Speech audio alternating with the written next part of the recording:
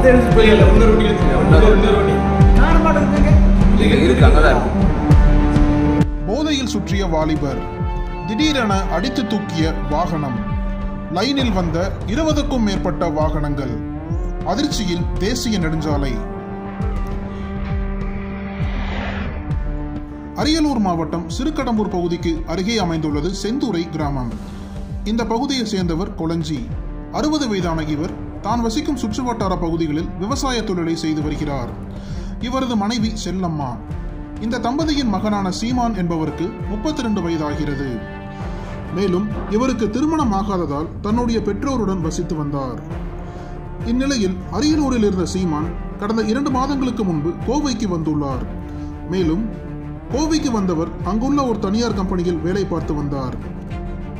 இதற்கிடையில் சீமானுக்கு மது அருந்தும் பழக்கம் இருந்துள்ளது.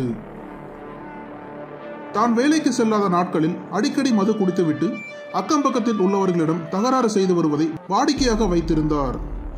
அந்த வகையில் கடந்த ஒன்பதாம் தேதியன்று சீமான் வேலை தொடர்பாக பல்லடம் பகுதிக்கு வந்துள்ளார். அங்கு தனது வேலையை முடித்துக்கொண்டு மது அருந்தியுள்ளார். இதனிடையே தலைக்கேறிய போதையில் இருந்த சீமான் நடு ரோட்டில் அங்கும் இங்குமாய் சுற்றித் திரிந்துள்ளார். அதனைத் தொடர்ந்து அன்றிரவு பதினோரு மணியளவில் பல்லடத்திற்கு அருகேயுள்ள காளிவேலம்பட்டி என்ற இடத்திற்கு வந்துள்ளார். அப்போது அங்கே இருக்கும் கொங்கு திருமண மண்டபத்தின் முன்பு போதையில் அங்குள்ளவர்களிடம் தகராறு செய்திருக்கிறார். மேலும் அந்த வழியாக வரும் வாகனங்களை மறித்து ரகளையில் ஈடுபட்டுள்ளார். அந்த சமயம் அடையாளம் தெரியாத வாகனம் ஒன்று சீமான் மீது பயங்கரமாக மோதியுள்ளது. இதனால் தூக்கி வீசப்பட்ட சீமான் சம்பவ இடத்திலேயே உடல் நசுங்கி உயிரிழந்தார். இதற்கிடையில் சீமானின் உடல் சாலையில் நடுவிலேயே இருந்துள்ளது. ஆனால் அது இரவு நேரம் என்பதால் சீமானின் சடலம் மற்ற வாகன ஓட்டிகளுக்கு தெரியவில்லை என கூறப்படுகிறது. மேலும் அந்த இடத்தில் வெளிச்சம் இல்லாத காரணத்தால் சுமார் ஆறு நிமிடத்திற்கு மேலாக பேருந்து லாரி கார் என அடுத்தடுத்து இருபதுக்கும் மேற்பட்ட வாகனங்கள் சீமானின் உடலில் ஏறி இறங்கியது. ஒரு தினம் இதை பார்த்து அதிர்ச்சியடைந்த அக்கம் பக்கத்தினர் உடனடியாக போலீசாருக்கு தகவல் தெரிவித்தனர். அதன் பிறகு சம்பவ இடத்திற்கு வந்த பல்லடம் போலீசார் உயிரிழந்த சீமானின் உடலை மீட்டு ஆம்புலன்ஸ் மூலம் பல்லடம் அரசு மருத்துவமனைக்கு அனுப்பி வைத்தனர். இந்நிலையில் இச்சம்பவம் குறித்து வழக்கு பதிவு செய்த போலீசார் இந்த விபத்து சம்பவம் குறித்து தீவிர விசாரணை மேற்கொண்டு வருகின்றனர்.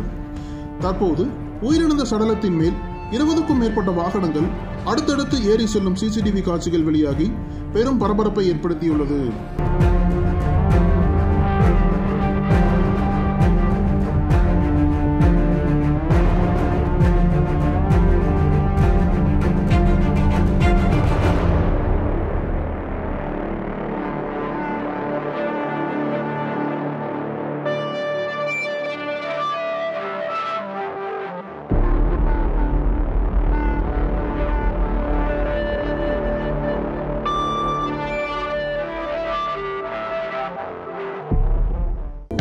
அனல் பறக்கும் செய்திகளை அப்டேட் செய்து கொள்ள நக்கீரன் களத்தை இப்பவே சப்ஸ்கிரைப் பண்ணுங்க.